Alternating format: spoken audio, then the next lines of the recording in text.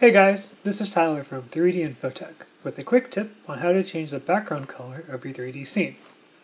To change the background, select Options, then Display, and then Interface Colors. There, you can adjust the top and bottom background colors. As you can see, the default colors right now are gray and white. So let's change them instead to black and gray. To change the color, select the color, and then select the new color you wish to use.